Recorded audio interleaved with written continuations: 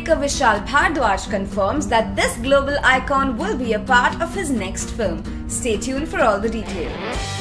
Vishal Bhardwaj and Priyanka Chopra have worked together in films like Kaminey and Saat Khoon Maaf. While both the films didn't earn great moolah at the box office, both were praised by critics and audiences alike for the superb direction and performances by the actors.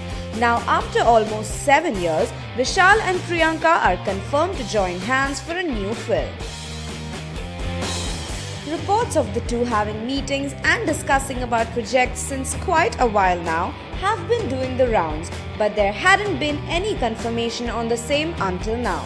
Last night, at a press event for his upcoming flick Pataakha, Vishal spoke about the film with PC and when it will go on floors. Priyanka also wants to work with me, and we are working with each other. Hopefully, we will start the film next year, said Bhardwaj. Early reports about the film suggest that it's going to be an adaptation of William Shakespeare's Twelfth Night.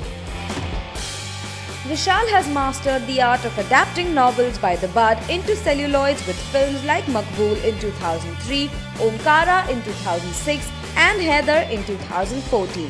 Let's wait and watch what this collaboration between the ace filmmaker and the Desi girl has in store for the fans.